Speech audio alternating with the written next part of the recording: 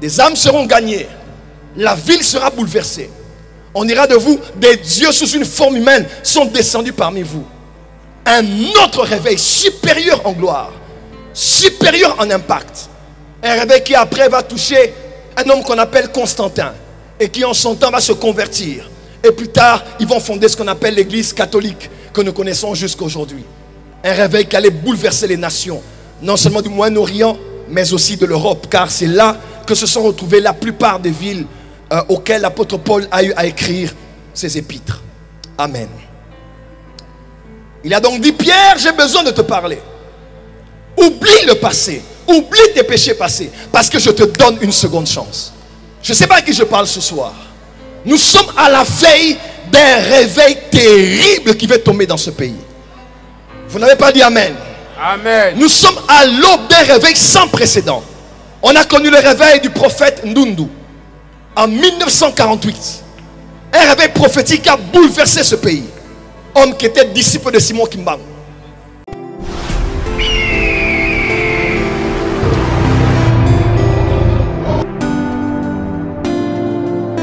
De minuit à 3 heures, c'est ce qu'on appelait le chant du coq. Et de 3 heures à 6 heures, c'est ce qu'on appelait le matin. C'était donc entre minuit et 3 heures. Alors que tout le monde dormait, l'apôtre Pierre, celui qui avait reçu les clés du royaume, avait décidé de régner le Seigneur. Et cet homme, après la résurrection donc, a eu à avoir un dialogue, un entretien avec le Seigneur après les événements honteux et tragiques qui ont eu lieu quelques jours passés. Et le Seigneur, après avoir visité tous ceux qui étaient là, a pris le temps de converser avec cet homme. Pourquoi? Non seulement à cause des événements passés, mais surtout à cause des événements à venir. Car un mois approximativement après la résurrection, quelque chose de spécial allait se passer. Quelque chose de fort allait se passer. Qui devrait être plus fort que ce qu'ils avaient vu lors de son vivant avant la résurrection. Un réveil sans précédent devait arriver en commençant par Jérusalem, Judée, Samarie, jusqu'aux extrémités de la terre. C'était un autre réveil qui devait arriver. N'est-ce pas, durant ces trois ans de son ministère, il y avait un réveil partout où il passait. Les morts ressuscitaient, les malades étaient guéris, des miracles sans nombre se passaient. Et même cet apôtre Pierre a eu à dire dans Acte 10, verset 38, vous savez comment Dieu a oint du Saint-Esprit et de force ce Jésus de Nazareth que nous connaissions tous. Celui-là qui allait de lieu en lieu faisant du bien et délivrant tout ce qui était de l'emprise du malin. Car Dieu était avec lui. Partout où il passait, il y avait plus de 25 à 30 000 et même plus qui le suivaient. Il y avait un réveil économique car quand il quittait une ville, imaginez le nombre de vendeurs qui perdaient la clientèle. Et imaginez lorsqu'il arrivait dans une autre ville, combien l'économie était boostée. Parce que des gens devaient prendre des chambres d'hôtel, des hôtelleries, acheter, consommer. Cet homme a bouleversé Israël durant ces trois ans de ministère. Et Dieu m'a dit, ce pays est un pays d'hommes et de femmes qui vont bouleverser les nations. Parce que cette terre est la terre des prophètes. Cette terre est la terre des voix prophétiques. Cette terre qui était autrefois dans les ténèbres, ainsi par l'Éternel, lève-toi, sois éclairé, car ta lumière arrive. Les ténèbres couvrent l'Afrique, mais c'est sur toi. Je dis Congo, République du Congo, c'est sur toi. Est-ce que je parle à un Congolais ici? C'est sur toi que l'Éternel se lève. Et c'est sur toi que sa gloire va apparaître. Il a donc parlé avec Pierre, car il devait arriver dans les jours qui allaient suivre un réveil terrible qui allait nous toucher jusqu'ici en Afrique, jusqu'à ce jour. Il a donc pris le temps de parler avec Pierre. Pourquoi Pierre? Parce qu'à vrai dire, c'est Pierre qui allait être l'actionnaire, l'activateur de ce réveil. C'est lui dans Acte 2 qui allait prendre le temps, alors que tout le monde allait parler en langue, il allait s'arrêter et prêcher afin que 3000 soient sauvés, plus les 120 qui étaient dans la chambre haute, environ. Il allait être celui qui allait punir la désobéissance dans Acte 5. Il est celui qui allait ressusciter Tabitha Dorcas. Il est celui dont on mentionne dans la Bible que son nombre allait guérir les malades. Il est celui qui devait être un pilier et une colonne de l'église de Jésus-Christ. Il devait écrire deux épîtres, mais aussi conduire, conduire à la rédaction de l'évangile selon Marc. Je parle ici de l'apôtre Pierre. Et Jésus a pris le temps de parler avec Pierre. Il dit, Pierre, attention, dans peu de temps, il y a un autre réveil qui viendra dans cette même ville dans laquelle j'ai travaillé. Des âmes seront gagnées. La ville sera bouleversée. On ira de vous, des dieux sous une forme humaine sont descendus parmi vous.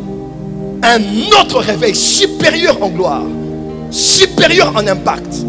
Un réveil qui après va toucher un homme qu'on appelle Constantin et qui en son temps va se convertir. Et plus tard, ils vont fonder ce qu'on appelle l'église catholique que nous connaissons jusqu'à aujourd'hui. Un réveil qui allait bouleverser les nations, non seulement du Moyen-Orient, mais aussi de l'Europe, car c'est là que se sont retrouvées la plupart des villes euh, auxquelles l'apôtre Paul a eu à écrire ses épîtres. Amen. Il a donc dit, Pierre, j'ai besoin de te parler. Oublie le passé, oublie tes péchés passés, parce que je te donne une seconde chance. Je ne sais pas à qui je parle ce soir. Nous sommes à la veille d'un réveil terrible qui va tomber dans ce pays. Vous n'avez pas dit Amen. Amen. Nous sommes à l'aube d'un réveil sans précédent. On a connu le réveil du prophète Ndundu en 1948. Un réveil prophétique qui a bouleversé ce pays. Homme qui était disciple de Simon Kimbam. En 1972, on a connu un réveil par le prophète Esaïe. Et jusqu'à ce jour, plusieurs serviteurs se sont succédés, chacun dans sa sphère, et a apporté une contribution considérable à l'évangile de Jésus-Christ dans notre nation. Mais Dieu dit, il y a de nouveaux généraux qui vont se lever. Il y a de nouvelles femmes prédicatrices qui vont se lever. Il y a de nouveaux prédicateurs qui vont se lever. Amen. On ne les connaît pas sur les réseaux sociaux. Mais moi, Dieu, je vais les exposer et ils seront la lumière du monde par ce pays. Donne-moi un amen plus fort que je t'entends. Amen. Et Dieu dit les plus grandes églises de l'Afrique, parmi lesquelles on retrouvera ça ici ou à partir d'ici en République du Congo. Yes.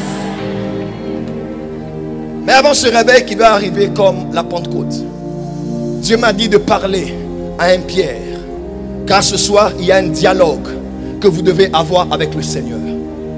Un autre réveil arrive, mais on doit dialoguer. Un autre réveil arrive différemment de ce que tu as vu durant mes trois ans de ministère, après que je t'ai appelé de laisser ton filet, car je ferai de toi un pécheur d'homme. Mais Pierre, on doit parler.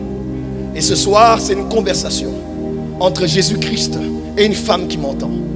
Entre Jésus-Christ et un homme qui m'entend. Entre Jésus-Christ et un pasteur qui m'entend. Un politicien qui m'entend. Un philanthrope qui m'entend. Un homme et une femme d'affaires. Un opérateur économique qui m'entend. Aujourd'hui et ce soir ici au Palais des Congrès. En ce 16 septembre 2023. Le Seigneur Jésus-Christ est lui-même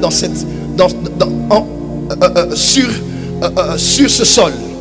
Et il a une conversation et un dialogue capital avec quelqu'un qui va utiliser demain. Jésus parle avec Jean. Il parle avec Pierre, raconte Jean. Et dit à Pierre, m'aimes-tu? Et Pierre dit, oui Seigneur, tu sais que je t'aime. Paie mes brebis. Pierre, m'aimes-tu Il dit, Seigneur, tu sais que je t'aime. Paie mon troupeau encore. Pour la troisième fois, est-ce que vraiment tu m'aimes? Il dit, Seigneur, triste qu'il était, tu sais que je t'aime. Et Jésus dit, paie mes brebis. Et il dit, lorsque tu étais jeune, tu te saignais toi-même. Tu allais où, où tu voulais aller? Ta volonté s'exerçait sans limite, sans contrôle, sans régulation. Mais lorsque tu vas vieillir, lorsque tu vas atteindre l'âge de la maturité, où on connaît la valeur de la vie, la valeur du temps, alors là, un autre plus fort que toi viendra te ceindre les reins et t'emmènera là où tu ne voudras pas. Pierre, on doit parler. Est-ce que tu m'aimes? Excellent peuple de Dieu de Brazzaville et ceux qui nous suivent en direct maintenant. J'ai appris au fil des années que lorsque le Seigneur te pose une question, ce n'est pas qu'il a besoin d'une réponse. Lorsque le Dieu omniscient qui connaît les cœurs et les sondes même te pose une question, il a déjà la réponse. Psaume 139 dit 1 à 4, il dit, la parole n'était pas encore sur mes lèvres. Oh Dieu, que tu la connaissais pleinement. Dieu n'a donc pas besoin d'une réponse lorsqu'il te pose une question. Lorsque Dieu pose une question, il n'a pas besoin de ta réponse. Mais il a besoin d'une remise en question avant que tu ne puisses sortir tes paroles. Car lorsque Dieu pose une question, c'est pour emmener l'homme soit à premièrement se rappeler d'une chose qu'il a oubliée et qu'il néglige. Ou bien prendre conscience d'une vérité dont il n'a pas encore pris conscience. Dieu pose la question à Adam et dit Adam, Adam, où es-tu? Et Adam dit, Adam dit, il dit Seigneur, tu sais, euh, euh, il dit Seigneur, je me suis caché. Dieu avait-il besoin de savoir où se trouvait Adam? Loin de là, il savait où était Adam. Mais il voulait emmener Adam de comprendre où es-tu par rapport à ta relation avec moi? Où es-tu par rapport à moi? Où es-tu par rapport à la position dans laquelle je t'avais laissé?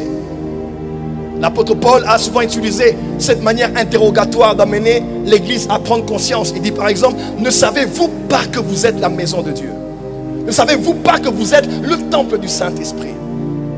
Quel rapport y a-t-il entre les ténèbres et la lumière? Ils savaient toutes ces réalités, mais ils avaient commencé à se comporter autrement que dans, le modèle de ceux qui connaissent ce genre de vérité. Le Seigneur n'a pas besoin donc d'une réponse. Il a besoin d'une prise de conscience. Regarde ton voisin, dit, voisin, est-ce que tu aimes Jésus?